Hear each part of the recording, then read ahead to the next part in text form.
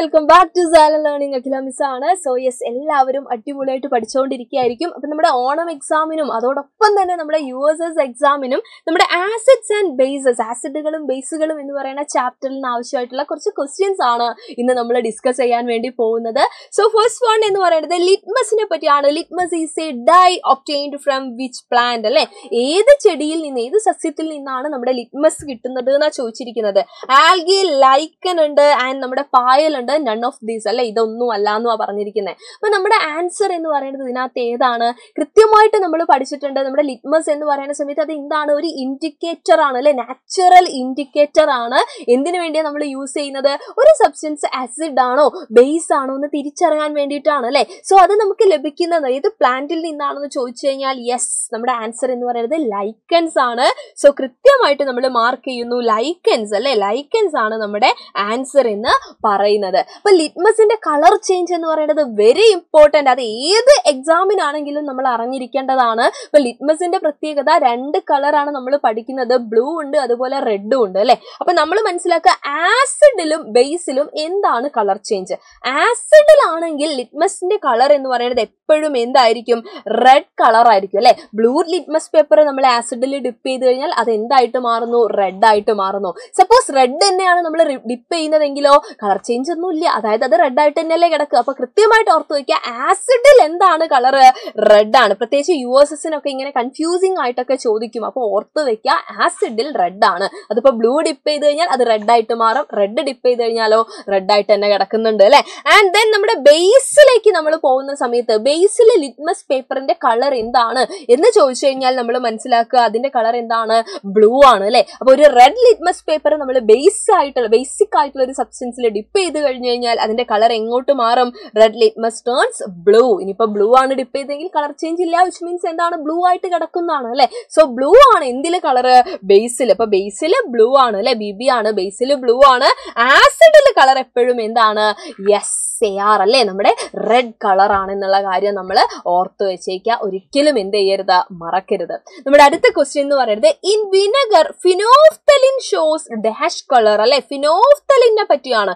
ആരാണ് ഈ ഫിനോഫ്തലിൻ എന്ന് പറയുന്നത്? നമുക്ക് ഓപ്ഷൻസ് ഒക്കെ ഉണ്ട്. പിങ്ക് കളർലെസ് യെല്ലോ റെഡ് അല്ലെ? ഇതിൽ ഏതാണ് വിനഗറിൽ ഫിനോഫ്തലിന്റെ കളർ എന്നാ ചോദിച്ചിരിക്കുന്നത്? അപ്പൊ ഫിനോഫ്തലിൻ എന്താണെന്ന് നമ്മൾ ആദ്യം അറിയണം അല്ലെ? എന്താണ് ഫിനോഫ്തലിൻ ഫിനോഫ്തലിൻ എന്ന് പറയുന്നത് ഒരു ഇൻഡിക്കേറ്റർ ആണ്. പക്ഷെ അതൊരു സിന്തറ്റിക് ഇൻഡിക്കേറ്റർ ആണ് നാച്ചുറൽ ആയിട്ടുള്ള ഒരു ഇൻഡിക്കേറ്റർ ഒന്നും അല്ല ലാബിലൊക്കെ ആയിട്ട് നമ്മൾ യൂസ് ചെയ്യുന്ന ഒരു സിന്തറ്റിക് ഇൻഡിക്കേറ്റർ ആണ് ഈ പറയുന്ന ഫിനോഫ്തലിൻ എന്ന് പറയുന്നത്. അതിന്റെ കളർ ചേഞ്ച് കൃത്യമായിട്ട് ഓർത്തു വയ്ക്കുക. അവിടെ ദാ മിസ് ഒരു പിക്ചർ ഒക്കെ വെച്ചിട്ടുണ്ട്. ആസിഡിൽ എന്താണ്? ആസിഡിൽ അത് കളർലെസ് ആണ്. ആൻഡ് ആൽക്കലി അല്ലെങ്കിൽ ബേസിൽ അത് എന്താണ്? യെസ് പിങ്ക് കളറാണ് കാണിക്കുന്നത്. അപ്പൊ ആസിഡിൽ കളർലെസ് ആണ്. ആൻഡ് നമ്മുടെ ആൽക്കലിയിൽ അല്ലെങ്കിൽ ബേസിൽ എന്ത് കളറാണ് പിങ്ക് കളറാണ് നമ്മുടെ ഫിനോഫ്തലിൻ കാണിക്കുന്നത്. ഇപ്പൊ നമ്മളോട് ചോദിച്ചിരിക്കുന്നത് വിനെഗർ ആയിരുന്നു വിനാഗിരി എന്ന് പറഞ്ഞു കഴിഞ്ഞാൽ അത് എന്താണ് ആസിഡ് ആണോ? ബേസ് ആണോ? നമ്മൾ പഠിച്ചിട്ടുണ്ട് അല്ലെ? വിനാഗിരി എന്ന് പറയുന്നത് എന്താണ്? ആസിഡിക് ആയിട്ടുള്ള ആളാണ്. ആസിഡ് ആണ് അല്ലെ? അപ്പൊ ആസിഡ് എന്ന് പറയുന്ന സമയത്ത് ആസിഡിൽ ഫിനോഫ്തലിന്റെ കളർ എന്താണ്? ആസിഡിൽ ഫിനോഫ്തലിൻ പ്രത്യേകിച്ച് കളർ ഒന്നും കാണിക്കുന്നില്ല വിച്ച് മീൻസ് കളർലെസ് ആണ്. സോ നമ്മുടെ ആൻസർ എന്ന് പറയുന്നത് ഓപ്ഷൻ എസ് ബി ആണ്.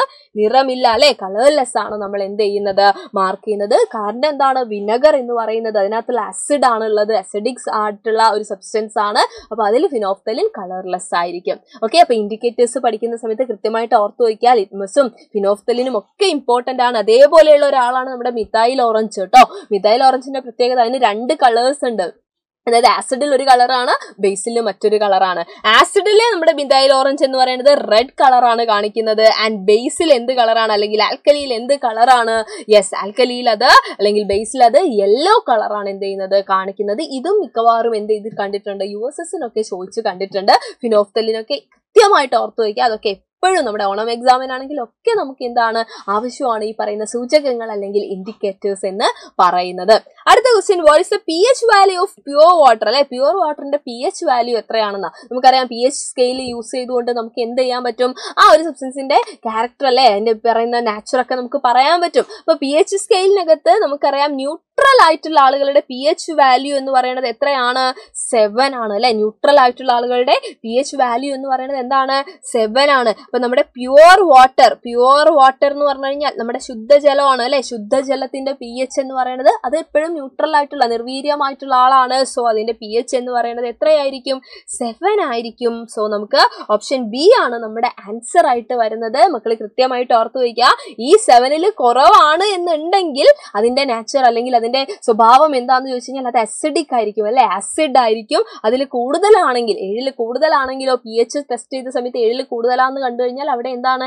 ആൽക്കലൈൻ നാച്ചുറൽ ആണ് അല്ലെ? ബേസിക സ്വഭാവമായിരിക്കും കൂടുതലായിട്ട് ഉണ്ടായിരിക്കുക എന്നുള്ള കാര്യം കൃത്യമായിട്ട് എന്ത് ചെയ്യണം? ഓർത്ത് വെച്ചേക്കണം.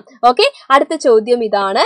Acid in vinegar is yes വിനാഗിരിയിൽ അടങ്ങിയിരിക്കുന്ന ആസിഡ് ഏതാണ്? നമ്മൾ പറഞ്ഞു നേരത്തെ നമ്മൾ പറഞ്ഞു വിനാഗിരിയിൽ ആസിഡ് ആണ് ഉള്ളത് എന്നൊക്കെ അപ്പൊ ഏത് ആസിഡ് ആണ് നമ്മുടെ വിനാഗിരിയിൽ അടങ്ങിയിരിക്കുന്നത് അപ്പൊ കൃത്യമായിട്ട് ഓർത്തു വയ്ക്കുക ഫുഡ് ഐറ്റംസിൽ മിക്കവാറിലും എന്താണ്? ആസിഡ്സ് ഒക്കെ ഉണ്ട് അല്ലെ? ഏതൊക്കെയാണ് ഓരോന്നിലുള്ള ആസിഡ് എന്ന് പറയുന്നത്? നമ്മൾ പഠിച്ചിട്ടുണ്ട് വിനെഗറിലാണെങ്കിൽ എന്താണ്?